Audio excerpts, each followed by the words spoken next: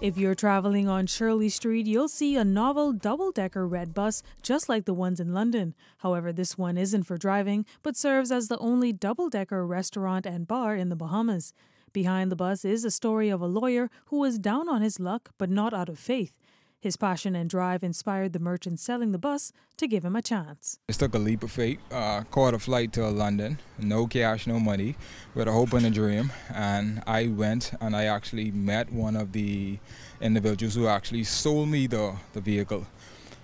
Had a very long conversation, told him about my passion, what I actually wanted to do with it, and he just basically, compared to what he was actually offering for the vehicle, he just uh, actually basically gave it away based on what I explained to him or what I actually wanted to do.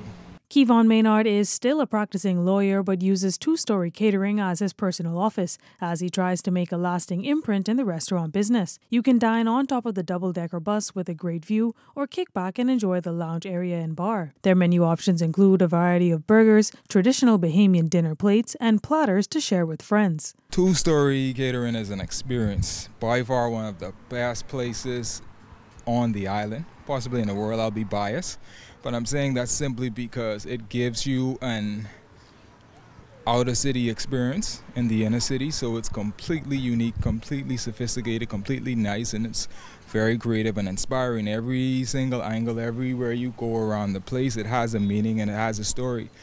I use this place simply as my canvas. So whenever I want to channel something, for me, it's just not a business, it's just an outlet for me to kind of paint and kind of express my feelings and my emotions. As for the future of two story catering, Maynard is hoping to put that signature red bus all over the region. And I'm thinking franchise. Honestly, for me, I'm thinking uh, two story catering in basically almost every country, every jurisdiction.